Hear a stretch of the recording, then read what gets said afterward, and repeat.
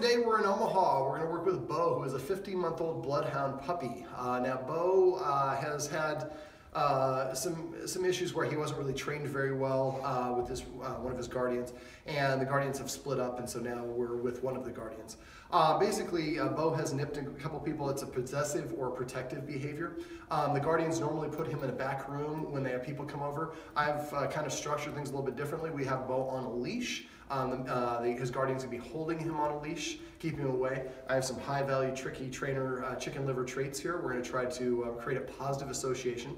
If you hold the dog back when it's pulling forward, you will intensify its reaction because the energy it's putting forth trying to break free transfers over to its reaction. So uh, I'm gonna go slow, I'm gonna stop multiple times. You're gonna notice I'm gonna turn my body sideways. If you notice me yawning, I'm not bored. It's a calming signal, something that dogs do to other dogs to say, I'm stressed out, or hey man, you're a little bit too hot, you need to stress out. Another calming signal, if you see me holding my hand like this, or if I uh, scratch the floor and sniff at it, also calming signals. Might look a little bit weird, but to dogs they mean something. Um, also, uh, for dogs, the higher you are, the uh, taller you are, the more commanding you are. So uh, I will be lower myself and keep myself sideways to him. I want him to feel nice and relaxed and comfortable. And it might be a staggered process because uh, if he's too hot, I'm going to stop and wait for him to settle down a little bit. So we'll see how this video goes. All right, so you're just going to stay behind me long enough uh, uh, to keep uh, try to keep the dogs, you know, dog in the picture as well. Let's see how Bo does.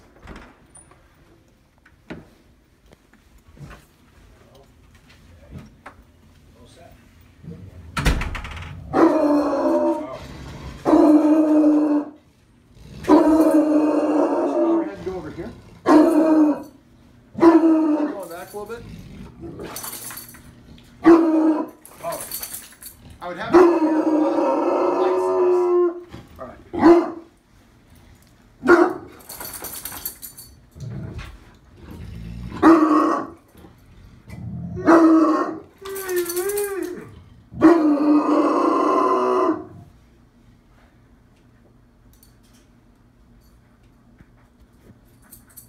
One more step back so you have it.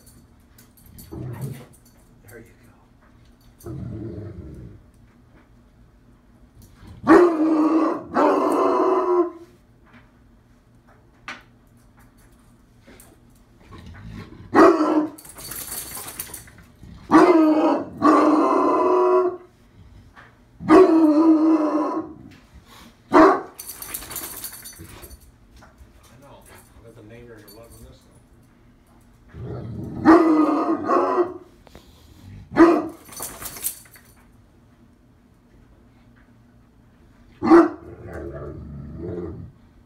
So if you want to shoot, go ahead and shoot, Bo.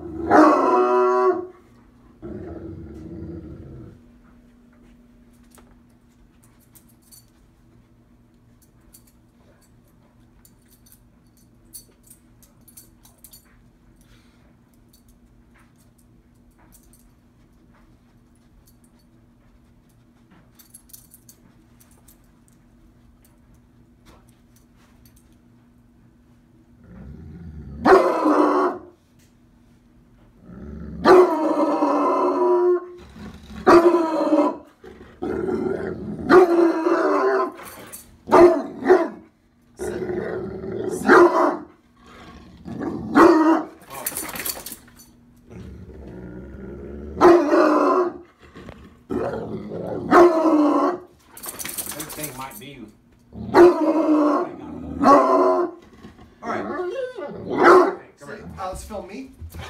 Um, please don't pet him. Um, uh, yeah, don't let him uh, go. Uh, what I'm going to have you do is, because he's still hot, we're going to put him in the kennel. Chance to settle down. Come here. There we go. Get in there.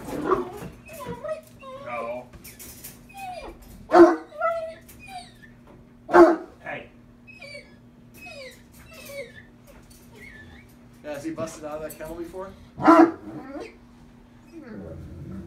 All right, so I'm gonna try hey.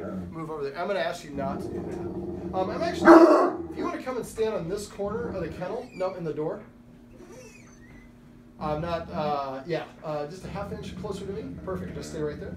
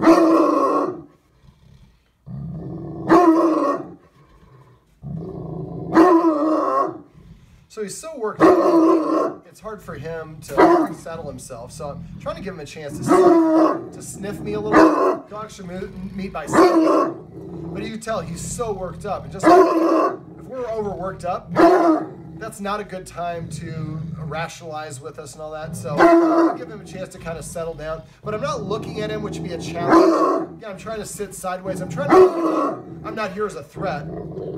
He kind of revs up and down. I'm trying to talk between the, the valleys. But I want him to understand that I'm not here to threaten. I'm not trying to pet him. I'm close to him, which we prefer, prefer to have a little bit more space, but I'm hoping to activate his nose a little bit. yes, you can tell he's he's he's very. So we're gonna pick this video up a little bit later in the session.